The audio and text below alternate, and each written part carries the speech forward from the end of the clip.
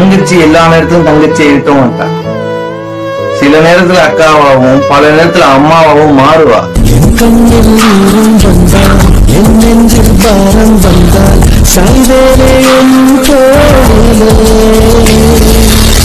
கண்ணீரே கூடாதென்றும் என் பிள்ளை வாடாதென்றும் சொல்வாயே அண்ணா